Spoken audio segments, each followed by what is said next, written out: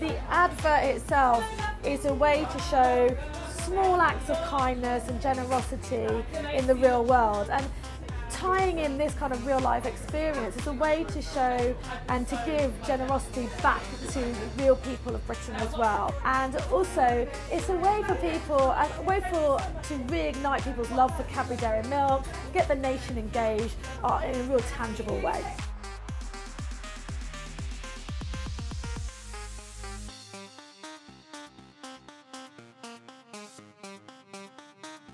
This pop-up shop is for everybody. Um, we're a brand for however old you are, but obviously the fact that this shop is happening in Soho, this will appeal naturally to a younger audience, you know, 18 to 35, 45. What we're also doing is using uh, YouTube stars who are going to be coming down to actually share what this shop experience is all about as well, um, to help us reach that younger audience too. So the oddest trinkets that we've had so far are a bottle of ketchup, fake nails, and I think a cute one was a pencil.